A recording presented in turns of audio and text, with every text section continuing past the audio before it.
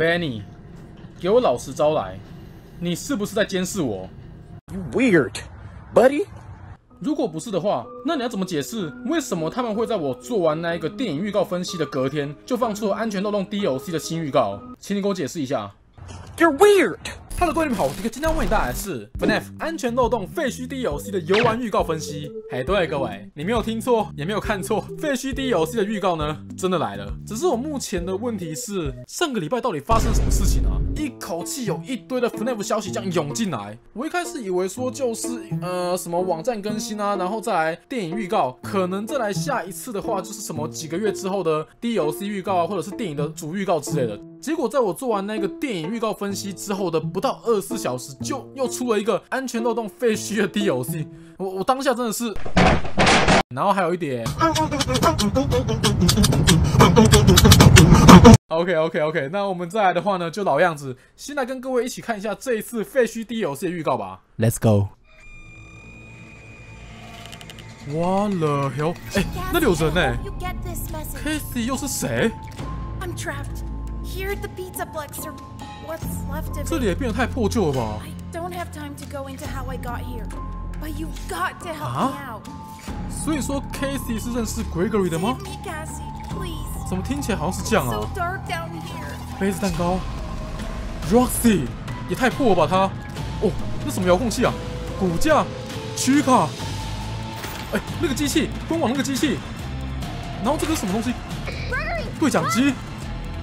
Oh my god！哦，哇，好多熟悉的场景。哎，是盲体吗？呃，奇卡一路好走。哈哈哈。耶，还有太阳？不是吧？我们是戴上了 v a n i 的面具吗？等一下，这是谁？这个是巴黎吗？最后那个是巴黎吗？哦哦，等一下。啊？今年的七月份。呃呃，我现在的疑问是，谁是 Casey？然后为什么这里会变这样？我们是不是戴上了 v a n y 面具？巴尼真的回归了吗？那个最后的是……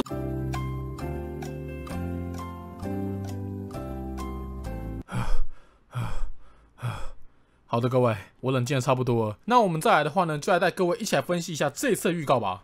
那么一开始的话，你会看到的是一个到处被贴满了那个像传单还什么纸张的一个地方，然后在后面那个玻璃墙有一个有洞的地方，那边有个小孩，他跳进来这个 Pizza Plex 里面。呃，那么这个地方如果我没有看错的话，它应该就是 Pizza Plex 的入口处那一边。然后再来这个地方，我有两个疑点。如果这里是被废弃很久的话，那为什么要把它贴起来？感觉他把它遮起来，可能是为了要掩盖里面发生了什么事情呢？让大家觉得说这个里面好像已经完全没有东西一样。那么再来第二个疑点就是，那一个小孩是谁？为什么他要进来这个 Pizza Plex 里面？那么至于这个小孩叫做什么名字呢？那我们可能要再往下看那么一点点。Cassie，I hope you get this message。那么我们接着会听到 Gregory 讲说，Cassie，我希望你能收到这则讯息。这个 Casey，我觉得没有意外的话，应该就是那个要跳进来这个 Pizza Plex 的那个小孩。而且如果你去比对一下那个小孩跟官方之前放出来的那一个试出预告图里面的那个小孩的话，你会发现说，他们两个从那个穿着来看的话，基本来讲就是同一个人，没错。所以这也代表说，那个要闯入这个 Pizza Plex 的那个小孩呢，叫做 Casey，也是我们这次要扮演的主角。那么再来的话呢，我们就会看到一连串我们之前在游戏里面看过的场景啊，只是这一次它变得比较破旧啊，比较老旧一点。这边比较值得我们注意的地方是 Gregory 讲的话。Gregory 讲说他被困在这个 Pizza Plex 的废墟里面，然后他没有时间解释，而且他说我们一定得要帮帮他。这个地方也是让我最困惑的地方。明明外面有什么警察、什么其他人可以呼叫，为什么 Gregory 偏偏是选择我们 Casey 来帮他？你有想过这个问题吗？所以这应该也代表说 Gregory 跟 Casey 之间可能有什么我们不知道的关系，你知道吗？不然为什么一定要我们来帮他？然后说到这个 Casey 的话，目前我们是。不知道这个 Casey 的身份跟来历是怎么样的，因为在原本的游戏里面也没有叫做 Casey 的人。我只知道说原本游戏里面有一个失踪孩子的名字叫做 Cassidy，名字跟 Casey 有那么一点像，但他们两个有没有关系，目前这里是不知道的。我们等等之后 DLC 推出之后呢才能知道了。然后接着还有什么 Daycare 啊，地下的废墟啊，跟那个搭电梯的地方。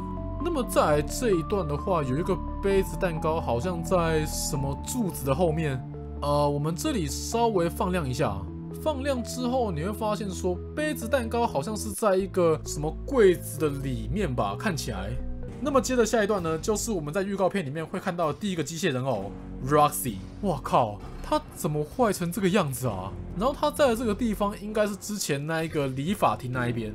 那么在，Casey 手上拿了一个非常奇怪遥控器，那个遥控器的上面有那一个 Glen Rock Freddy 的那个闪电的图案，然后前端的话呢有两个像天线的东西，上面还有那个什么转轮跟指示灯。我自己在猜啦，那个转轮应该是让我们来调什么频率，然后我们调完之后，对不对？要去按那个中间那个像把手的东西，给按下去。当我们按对之后，它会把那个讯号发出去给某个东西，像门啊、什么机关之类的。如果我正确开的话呢，下面的灯就会亮绿色啊；没有的话就是亮红色。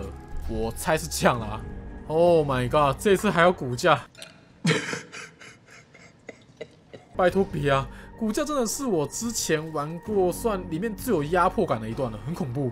这次还有，屈卡看起来好像跟之前也差不多，只是他的手臂哎没有，他之前手臂好像就断了。不要瞎掰好吗？然后这个机器呢，就是我们之前在网站里面看到的那个机器。呃，原本我以为这个东西是拿来解救 Freddy 的，结果它只是一个单纯的监视器而已。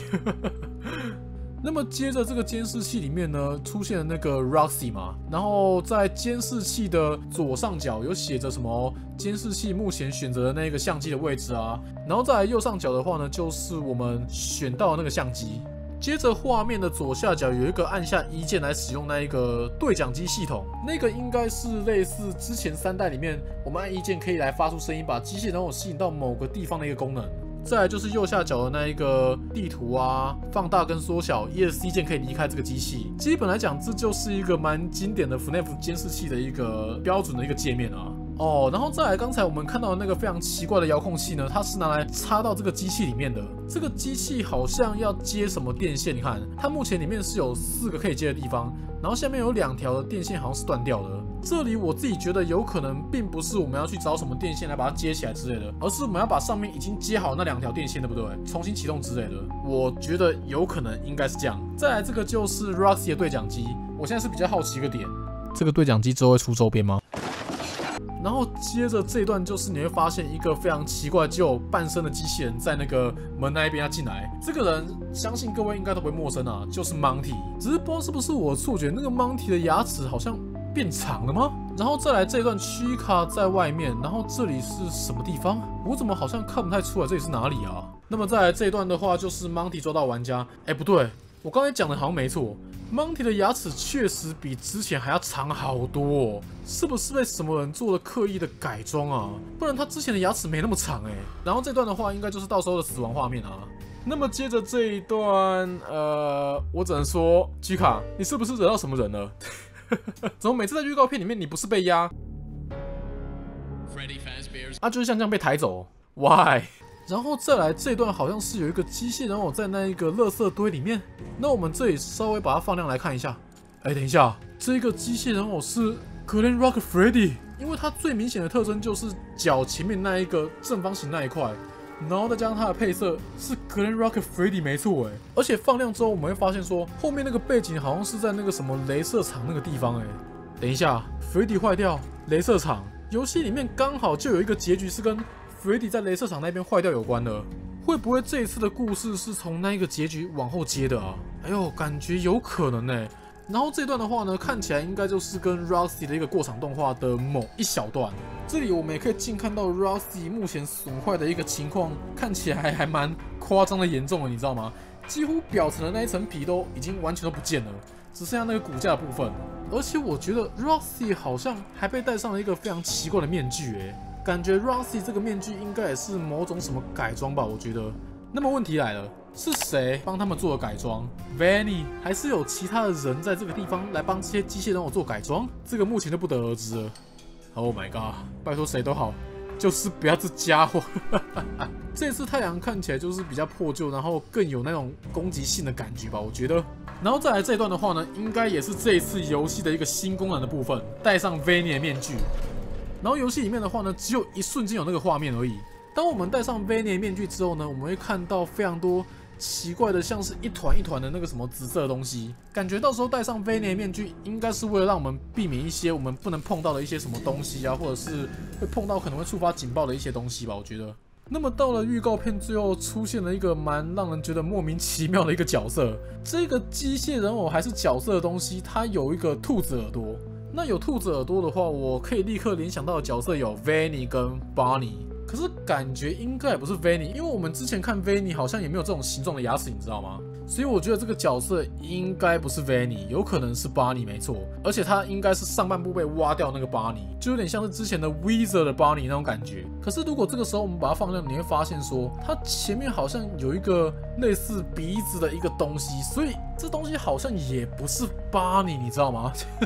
但我目前自己是比较希望说是巴尼回归啦，因为巴尼这个角色从之前的失踪事件之后呢，就再也没有任何的消息了。那么接着 Gregory 在最后还讲了一句：“请别放弃我。”整个感觉有那么一点奇怪，不是预告奇怪，而是 Gregory 在这个预告里面所讲的话给我的感觉有那么一点怪异，你知道吗？因为他讲的话目前为止都没有什么头绪，就只是希望我们不要放弃他，叫我们一定要去救他。反正我目前的话呢是满头问号啦。那么预告片最后的最后呢，是跟我们讲说，这次这个 DLC 呢会在今年的七月份上市。Oh my god，好快哦！我还以为说这个 DLC 可能会在什么今年的年底才会出，结果今年的七月份就会出了，有够快的，我的天呐！好了，各位，那么以上的话呢，就是这一次的预告分析啊。那如果你喜欢的话，那也不妨可以帮这部片按个 like 和订阅吧。那么等之后这个 DLC 有什么更多新消息的话呢，我也会立刻为各位带来一些最新消息的部分的。OK，好的，各位，那我是 DK，那我们下部影片见喽。Peace out.